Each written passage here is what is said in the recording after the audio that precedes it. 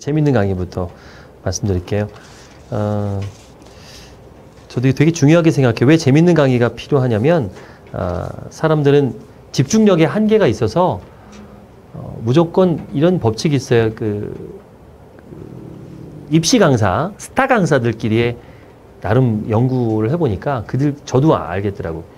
무조건 강의 내용과 상관없이라도 20분에 한 번은 웃겨야 된대요. 왜 20분에 한 번일까요? 최소한인 거야, 최소한. 집중력의 한계가 20분이거든, 사람의 심리가. 그래서 20분에 한 번 리셋을 시켜주는 거예요. 어, 휴식을 주는 거죠, 휴식을. 그런 의미의 유머예요. 어, 그러니까 최소한이에요. 그래서 한 번 정도는 음담, 패설을 하든 뭐 하든 입시 강사들 보면 꼭 한 번 웃겨요. 그리고 다시 둘을 봅니다. 그 강의는 전혀 상관없어도 상관없어요. 그럼 뭐 재미난 얘기가 됐든 동영상이 됐든 뭐든 하면 됩니다. 그러면 이 사람이 웃기는 사람이 되려 그러면 쉽습니다. 예, 굉장히 간단한 얘기인데 요리를 잘하고 싶으면 뭐 해야 돼요? 제일 먼저 응? 그렇지. 맛있는 걸 먹어봐야 돼. 자기가 맛있는 걸 먹어보지 않았는데 어떻게 요리를 잘해요? 그래서 식당 하는 사람들 중에서 바보 같은 사람들이 진짜 중요한 사람들은 몇 천만 원을 써서 맛집을 다니면서 먹어보거든요. 그 자기 혀의 quality를 높여야 돼. 자기 맛있는 거 맛도 못 보면서 요리가 돼요. 그래서 미각이 없어지면 요리사는 은퇴를 합니다. 더 이상 요리를 못 해요. 미각 때문에. 똑같습니다. 자, 웃기는 강의를 하려면 뭐부터 해야 돼요? 많이 웃어야 됩니다. 그래서 웃기는데 많이 다녀야 돼요. 전 일부러 그래서 개그 콘서트니 뭐니 많이 다니고 뭐 폭서 클럽이니 개그 프로를 엄청 봤어요. 일부러 처음에 하나도 안 웃기더라고. 왜 웃어 이걸? 그래서 어떤 방법을 썼냐면 딸내미가 이제 어릴 때 걔를 옆에 앉혀놓고 봤어요 일부러. 애들은 웃더라고. 아 여기서 웃어야 되는구나. 일단 웃었어. 웃으니까 아 여기서 웃는 거구나. 이걸 계속 반복하니까 어떨까? 웃음 코드를 알겠더라고. 아 여기서 웃는 거구나. 그때는 애 없이도 저 되게 웃긴 게 혼자 TV보다 혼자 잘 웃어요. 이제 훈련이 된 거지. 잘 안 되니까 훈련을 한 거야. 이게 부작용도 있어요.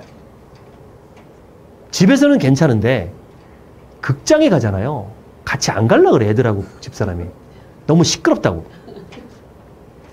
계속 웃는 거예요. 이제 그러니까 감독이 웃음 타이밍을 주잖아요. 그 저는 이게 이게, 이게 큰 거야. 이게 감이 그래서 민감한 거지. 그러니까 빵 터져요. 우, 그러니까 나 때문에 웃어요 사람들이 어이가 없어갖고 극장 끝나면 이렇게 째려보고 가요 사람들이. 어떤 아저씨가 목소리도 좀 커? 미안하더라고. 근데 뭐 어차피 나, 나도 돈 주고 왔고 웃으라고 웃긴데 웃은 건데 뭐 내가 뭐 노력하면 되더라고요. 그래서 많이 내가 웃으니까 웃음 타임을 좀 알겠고요. 또 내가 먼저 웃어버려요. 저 계속 웃고 있잖아요. 뭐, 뭐 좋은 일 있어요, 지금 제가? 계속 웃잖아요. 이게 훈련되는 거겠지. 그죠?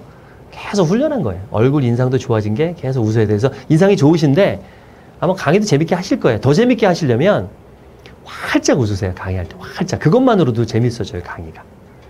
그러니까 조금만 얘기해도, 그러니까 예전에는 30을 얘기했을 때 30을 반응했으면 내가 활짝 웃고 얘기하면 50, 60을 반응을 하더라고, 사람들이. 그리고 피곤하면 목소리가. 카카오톡에서 이북 받는 법을 알려드립니다. 카카오톡의 친구 찾기에서 그냥 제 이름 김효석을 검색하시면 플러스 친구가 뜹니다. 채팅방에. 클릭하시면 되고요. 여기에 추가 버튼을 눌러주세요. 그럼 저랑 친구가 된 거예요. 확인 누르시면 바로 친구가 되고요. 아래쪽에 이북 받기라고 보이시죠? 여기를 클릭하시면 됩니다. 바로 다운됐죠? 여기를 클릭하면 또 다운로드가 돼서 이북을 받으실 수 있습니다. 아, 이거는 화면상에 보이는 거니까 또 다운로드를 한번 더 눌러주세요. 내 휴대폰에 들어와 있습니다. OBM 설득 마케팅 80페이지 오프닝 부분까지만인데요. 도움이 되실 겁니다. 앞으로 저랑 친구 되셨으니까 다양한 강좌나 또 자료들 보내드리겠습니다. 카톡에서 계속 뵙겠습니다. 고맙습니다.